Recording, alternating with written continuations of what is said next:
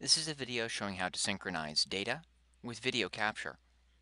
I've previously collected a video and also I've collected a, a, collection of force data for the sensor that I have in my video frame. So one of the problems that I have here is that if I roll this back and hit play, you'll see that there's not a synchronization between the force data and what is displayed on the video. To correct that, um, I will go to the header of my video display here and click on this clapboard that says manually synchronize movie with data. Current sync value is slightly off.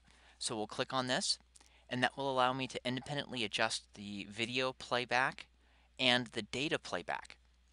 The video playback is adjusted by the uh, display up here. We can grab the slider, click on this view and adjust current uh, movie playback position.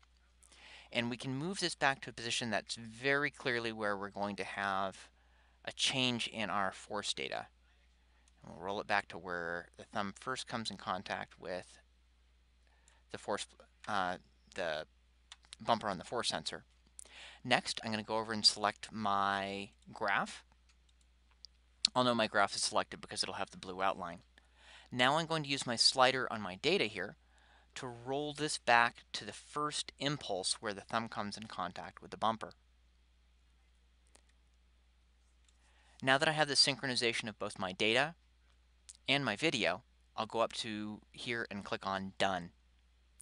Now, when I go ahead and roll my slider back for my video and press play,